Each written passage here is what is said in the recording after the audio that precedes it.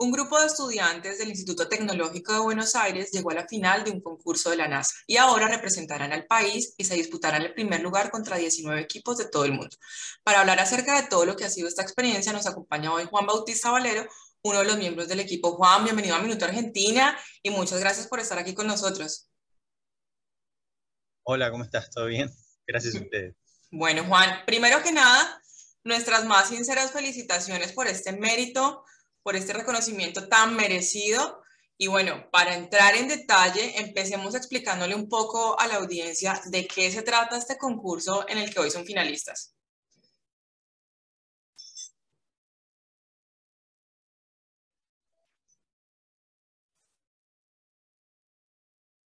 Perdón, se me, fue, se me dio la conexión.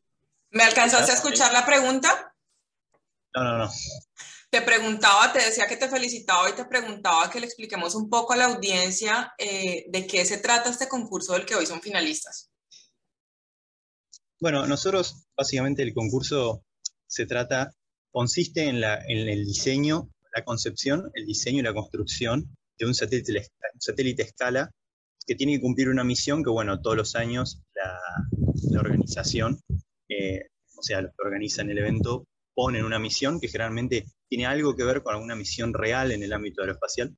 Y nada, la idea es que cada uno de los equipos tenga un concepto inicial, haga un diseño y lleve a la construcción ese diseño, lo materialice.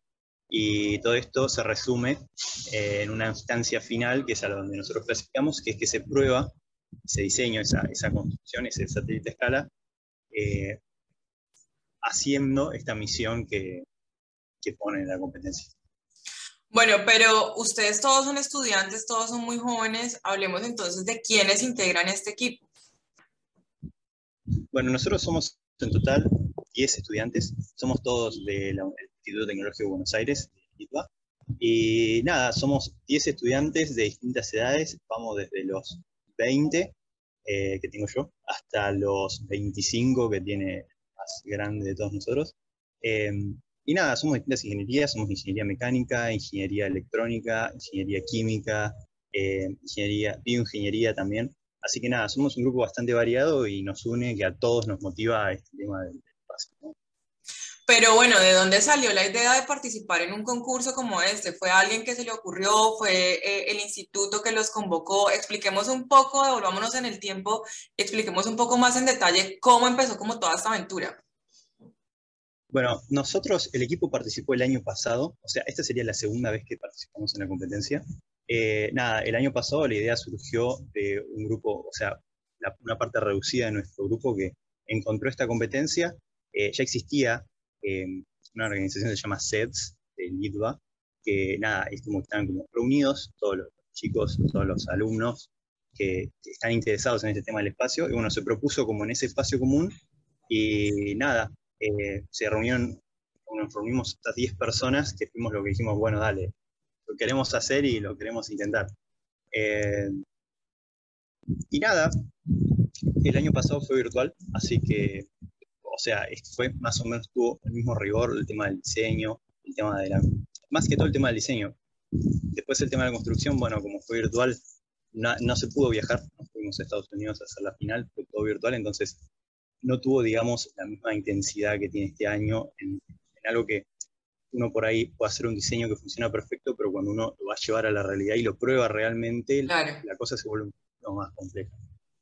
Es decir, que el año pasado se inscribieron y llegaron a la final también.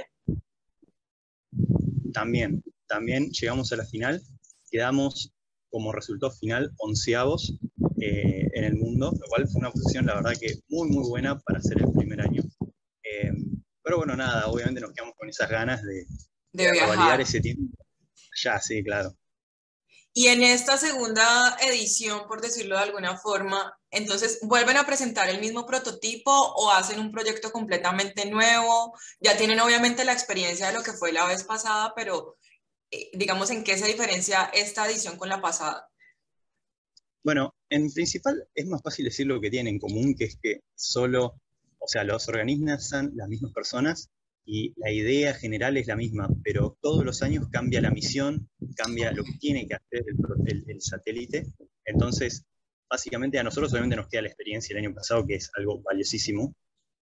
Pero bueno, digamos, el, el, el, dispositivo que compitió el año pasado está totalmente obsoleto para competir este año.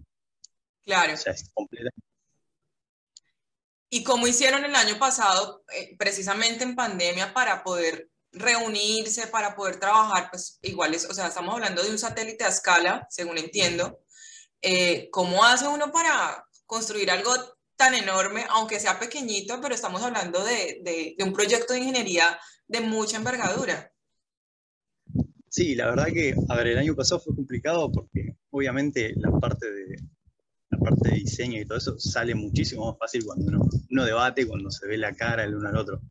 Pero bueno, a ver, de una u otra forma, como todo el mundo, uno se adapta. Básicamente haciendo reuniones virtuales, reuniéndonos por fuera de lo que es la institución, en casa, todos los protocolos, todos los problemas. Bueno, cuando no había circulación era directamente juntarse. Pero bueno, así todo salió. Salió y, digamos, salimos adelante con, el proyecto. Así que, si bien este año hay que ponerle un poco más de ganas porque hay que, hay que ir y construirlo, eh, si lo hicimos el año pasado, este año tiene que salir. Claro que sí. Bueno, hablemos entonces de cómo ha sido la preparación para este año.